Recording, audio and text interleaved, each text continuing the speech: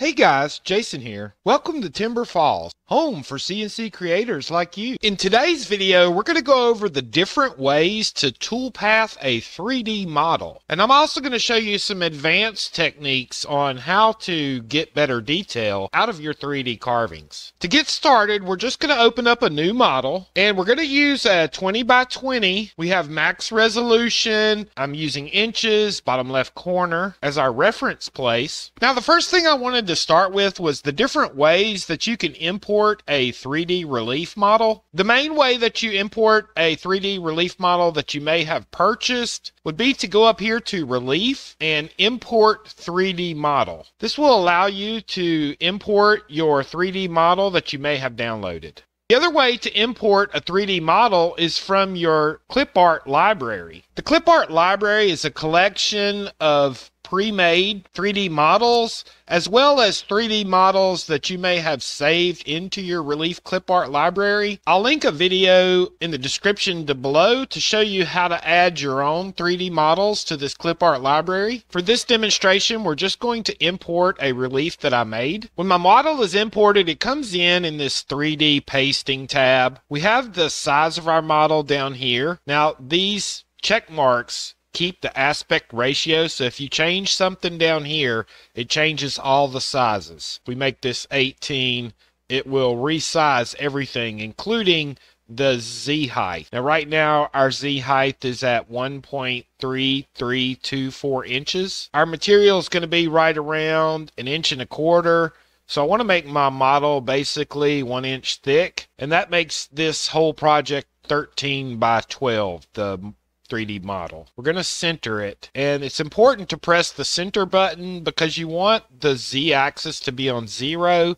And then the position is in the center of the material, which is 10 by 10 because this is a 20 by 20 piece of material. And once we have everything where we want it and we have everything the correct size, we just press our paste button and that imports our 3D model. We have to close this because it's trying to import another 3D model. Okay, now we're ready to start toolpathing. For the first demonstration, I'm just going to use whole relief. And what that means is it's going to try and carve all of the 20 by 20, including the waste material. We need a finishing bit and a roughing bit. The roughing bit is going to carve out most of the meat of the wood, and then the finishing bit will come back and do the details. For roughing for something like this, I normally would use a small enough bit to try and get in between the different places that may be open on this model. Like in between these tires where the spokes are, you'd want to try to have a bit small enough to at least rough out some some of these areas that are deep down in between that tire. So for this, I'm going to just pick a 1 8 inch slim down shear bit. This is one of the Jenny bits from Cadence Manufacturing. I'll have a link to all of his bits in the description below. We're going to select that 1 8 inch down shear. Now we're just going to be using a raster tool strategy and we are going to change the angle of this raster slightly. I'm going to make it 20 degrees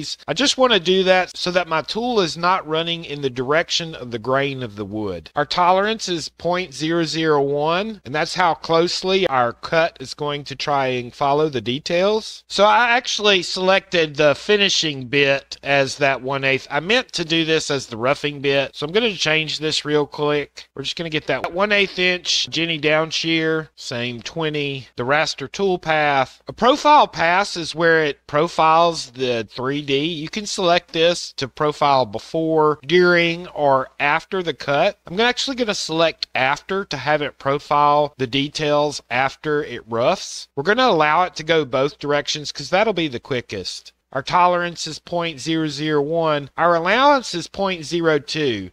The allowance in your roughing bit is how much material is going to be left over for the finishing bit to carve. Now I want to select the correct finishing bit. So for this, we're going to use a taper ball nose. And I'm just going to select the 1 16th. This is the Skinny Jenny from Cadence Manufacturing. It's a very good carving bit, and it's what I use mostly for my 3D carvings. I'm going to leave the raster and the angle at 20. I'm going to come down here and change my safe Z to 0.0 zero five. Safe Z is how far the router is going to retract to the top of the material in order to make the carve. Because we're carving all of the material, we want this really small so there's very little retraction room in between the different moves. We need to define our material and the model thickness is just under an inch. So my material was 1.25 inches, and that's going to leave us with an offset of about a quarter of an inch that we're just going to leave on the bottom of the model. This is what's going to hold the whole model onto the piece of the material. We are zeroing from the top of the material, so we have a top selected. When I press OK, it puts our model inside of that material. Now when we calculate, it's going to calculate both the roughing and the finishing pass. You can see now that it's finished calculating that it's going to cut, this red is all of the tool pathing, and it's going to cut the whole material. All of these blue lines are the different movements or paths that the router is going to make outside of the cut. If we simulate this, you'll see that we carved our 3D model and the entire piece of material down to a quarter of an inch because that was what was left over in our material. And this looks pretty good. We got pretty good detail and everything came out nicely. I'm going to delete this simulation. Going back up here to our toolpath strategies, we had selected the Raster Classic. When you have whole relief selected, you get a few other options. You get Raster XY Classic, Spiral, and Spiral in the box. The Spiral and the Spiral in the box often can give a better finish because of the way the bit spirals from the inside and just works its way out until it's finished this model. I'm going to recalculate this model using the spiral in a box. You can see right here at the end how it's spiraling outwards towards the end of that project border. Let's simulate our cut. This toolpath has an advantage that it always moves in sort of a circle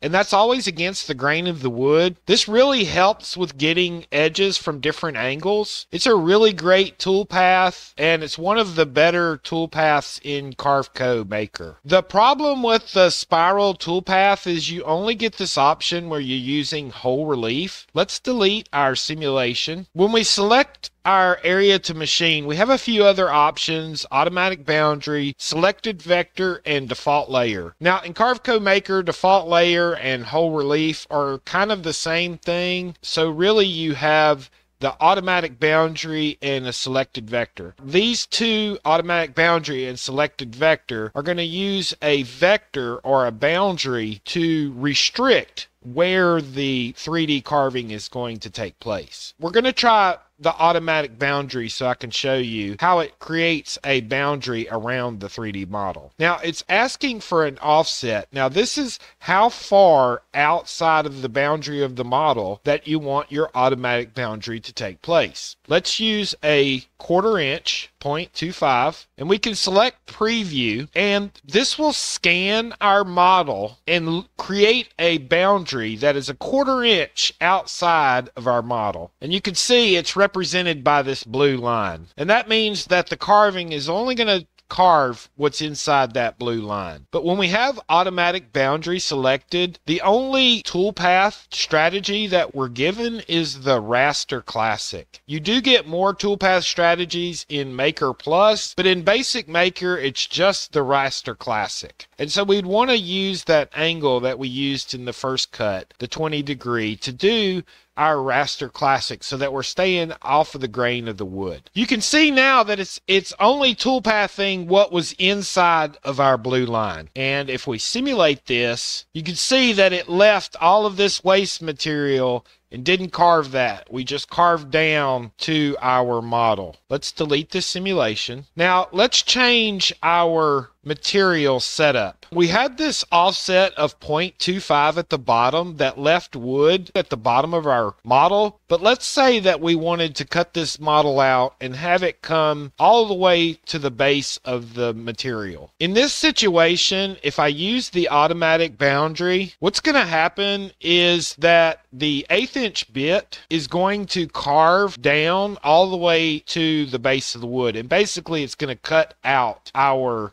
model. The problem with this is there aren't any tabs or anything that's built into this toolpathing that allow you to design a way to hold it in when it's being cut out. When we simulate this, we can see that this material right here is pretty much cut all the way through. Our simulation shows it at a 0.24999. It's basically a thousandth off from cutting all the way through. And that may have to do with our roughing allowance. Let's delete the simulation. Now the other option we have is selected vector. Now we're going to delete the automatic boundary. Now to use a selected vector, we have to have a vector to select. And right now there aren't any vectors on this 3D model. To get a vector around this 3D model, we're going to go up to vector and create. And all the way down at the bottom is the relief boundary tool. Now what the relief boundary tool is going to create a vector around the boundary.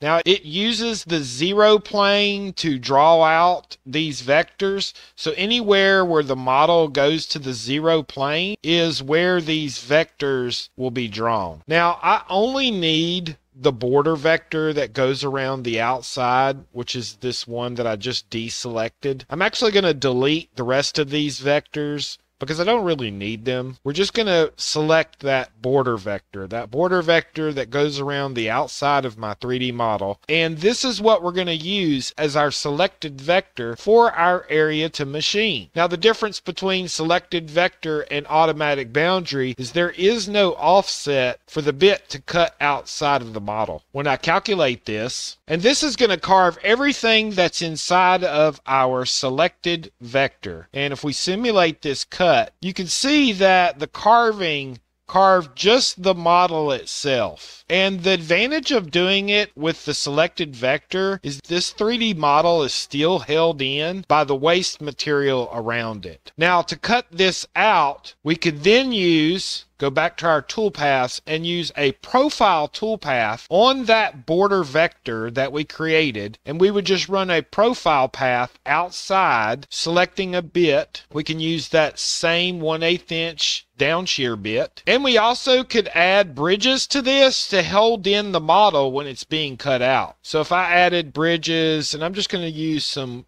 1 8 inch size bridges. I have four of them. We're just going to add them to the model. Now, I don't really like where it put those bridges. Let's let's remove those. Let's go down here to our edit bridges button and this will allow us to put the bridges where we want them. So I'm just going to put one here, here, put one here. Those will be easy to sand off. And then once we calculate this, this will give us our profile toolpathing with bridges.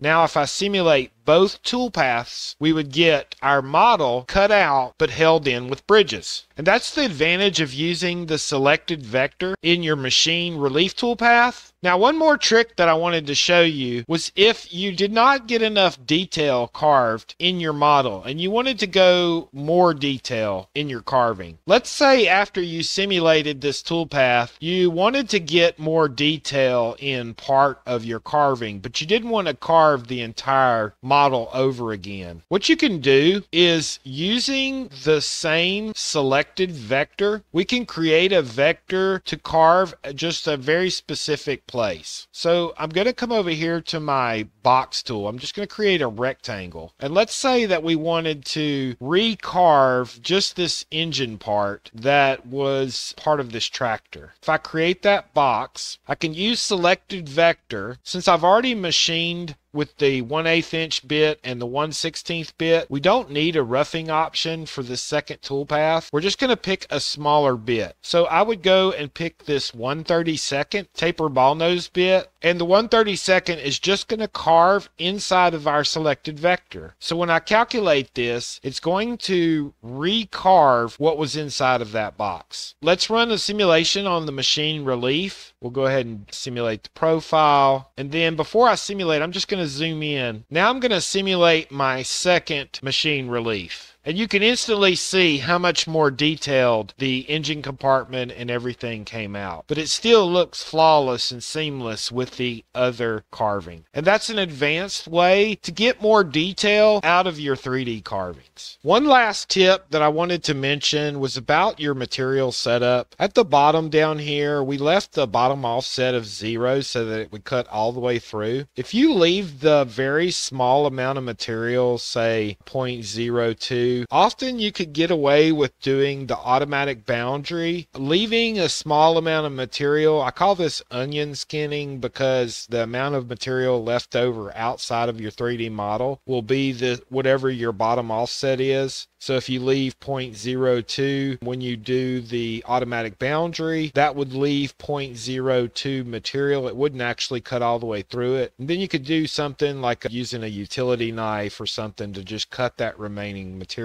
But it does leave a little bit more to have to clean up. The profile and selected vector is a much cleaner way. So I hope this helps guys. And that's the different methods to carving a 3D relief. Thanks guys. See you on the next one. Guys, if you found this tutorial helpful, give us a thumbs up. Consider subscribing to the channel and share this with someone. I'd like to give a big thanks to all of our Timber Falls Elite members. You guys keep the bit spinning and we really appreciate your support. If you're interested in becoming a Timber Falls Elite, check out the link below or our website at timberfalls.us. Thanks guys.